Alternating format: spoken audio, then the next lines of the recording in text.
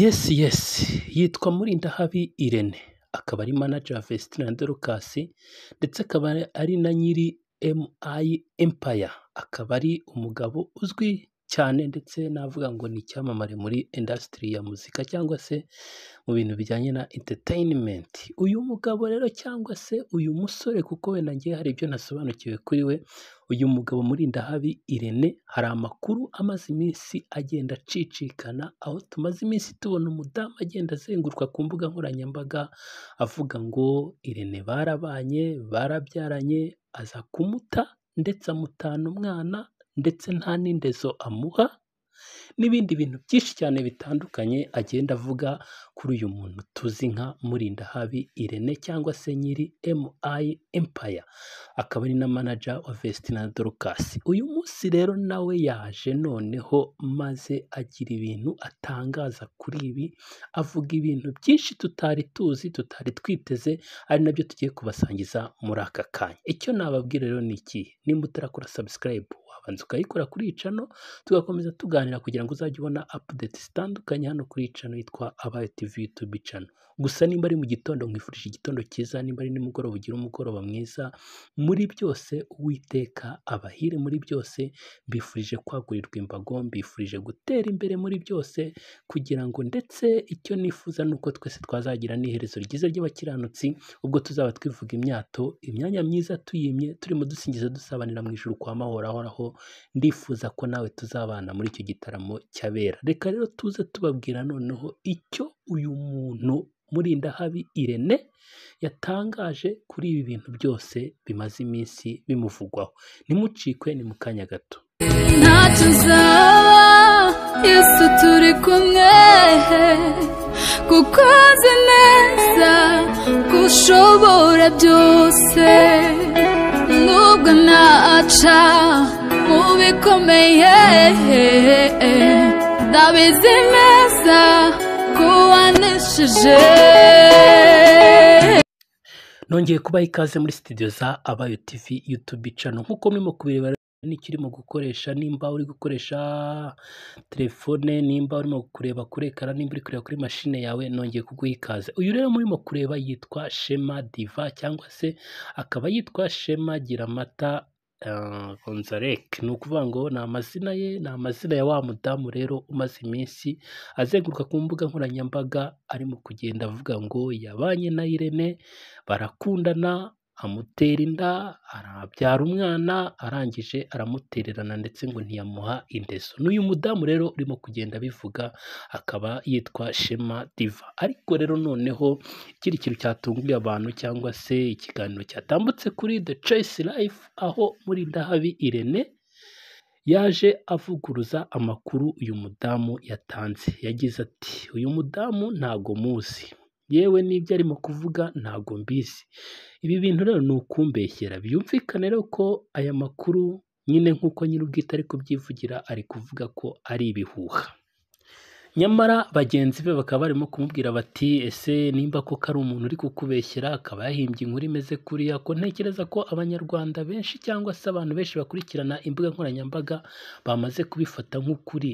Nimba kubeshyira kubera icyo utamujyana mu mategeko. Ariko uyu mugabo Murindahabi Irene yatangaje ko rwose na avoka we yamubujije kwirirwa bajya gutanga ikirego aravuga ati n'ubundi uriya kuwirirwa murega ntacyo naba mushakaho nta n'icyo naba nenda kumwungukaho reka mureke avuge nyine ubwo ntaruha azarekera. Ariko reka mbabwire ubundi ibi bintu bimaze iminsi tugenda tubona abantu baharabika abandi wenda ukumva umuntu ari kuvuga andi makuru ku muntu utari wenda akavuga amakuru mabi kuri mugenzi we ese ibi bintu mubabona bigamije iki? Ese ni ugushaka amaronko? Ese ni ugushaka ko abantu bamenyekana? Ese ni ugushaka viyuzi koko nk'uko nyabyumva? Cyangwa se wenda koko ibintu biba ari ukuri ariko umuntu akaba yarabuze aho abigaragariza akavuga ati wenda nimbivugira hano ku mbuga nkoranyambaga byanze bikunze nyir'ubwite abantu baramwegera bamugira inama.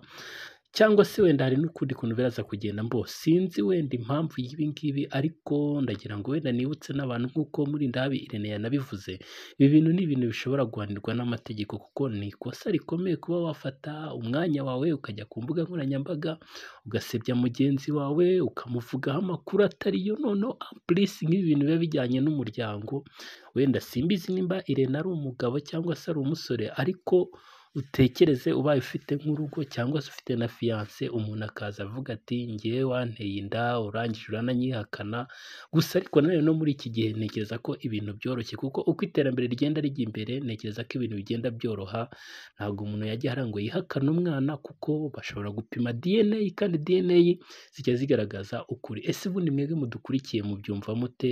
Iyo murebye ibintu birimo kugenda byirwa bitambuka hirya no hino ku mbuga nkoranyambaga uko abantu bagenda baterana amagambo uko abantu bagenda batangaza amakuru tutari tuzi cyangwa se n'ubuzima bwite bw'abantu tukagenda tumenya mwebwe mubibona mute bo hari abatekereza bati wenda ni igihe kiba kigeze kugira ngo Imana ishyire abantu hanze bitewe n'ibyo bagiye bakora mu bwihisho ikabihorera nk'uko ijambo rivuga ngo urabikora nka kwihorera ukibwira ko mpanywe nawe ariko ninjya kuguhana nzabishyira imbere yawe uko bikurikirana.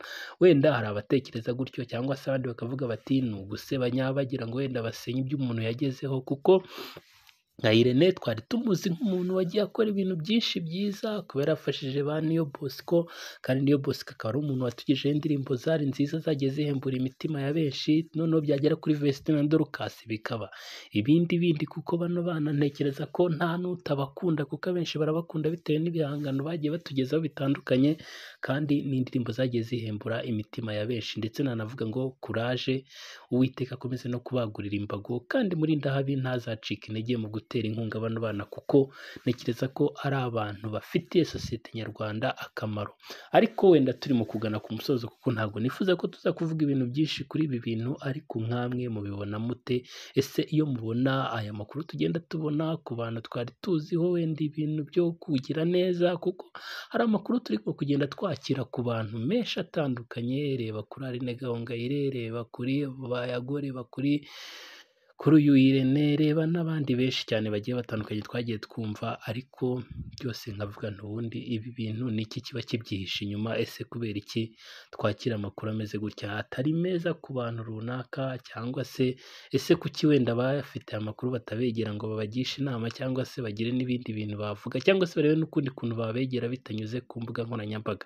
Bo ntago niriwe mbyinjiramo cyane ahubwo icyo nababwira nababwira ngo mumenye n'iyicano muyimenye nyine mukoreho subscribe mukore share ubundi tujye tuganira ibintu byinshi bitandukanye bijyanye n'ijambo ry'Imana. Hano twakira abahanuzi abakozi b'Imana batandukanye abahanzi abaririmbyi abavugabutumwa abantu bafite ubuhamya bwinshi bw'iby'Imana iba yarabakoreye mu buzima none ubundi tugafatanya kuzamura idarapo ry'ubutsinzi ryo gushima Imana ryo kunezererwa Imana. Hano turanatarama igihe tuzana ibyuma abacuranzi bakaririmba rwose tukagira ibihe byiza cyane.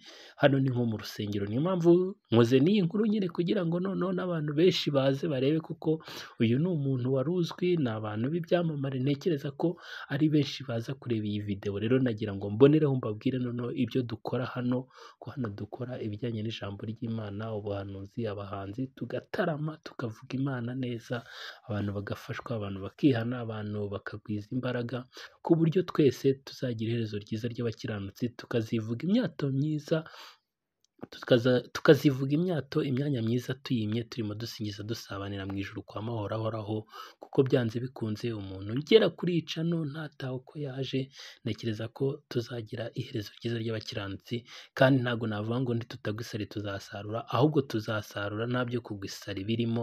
Twebwe tuzi ko dukorera hemba neza ni umwami Imana Imana isumba byose umubyeyi w'imbabazi umutunzi w'imbabazi kandi aradukunda icyo atwifuriza ni icyiza. Rero tuzabana nawe mu bwami bwo mu ijuru. Namwe rero mwaza tukifatanya tugasangira ijambo ry'Imana waba ufite ubuhuguru ukaza ukabutambutsa waba ufite n'ikindi kintu wumva cyafasha abantu cyangwa kigafasha sosiyete nyarwanda cyangwa se kigafasha abakurikira iyi cano kuba bazagera mu ijuru amahoro cyangwa se babaho mu buzima bufite intego kandi bukiranukira Imana na cyo waza tugafatanya kugitambutsa nta kibazo.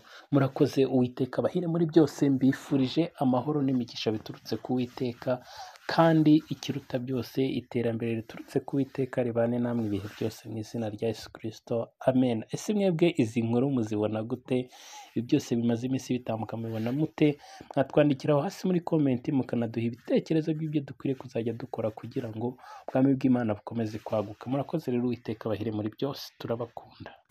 Uturinda buri munsi ibitero bya satani uri umurengezi wanjye uri igihome cyacu. Turaryama twiziguye kuko tubera amaso uri mu ruhande rwacu. Ntituzatinya namba uturinda buri munsi ibitero bya satani. Uri umurengezi wanjye uri igihome cyanjye. Turaryama twiziguye kuko tubera amaso. Uri mu ruhande rwacu. Ntituzatinya namba. Murakoze cyane. Imana iraduteturuye iyo mu ijuru iratwibutse. Imigambi ya satani.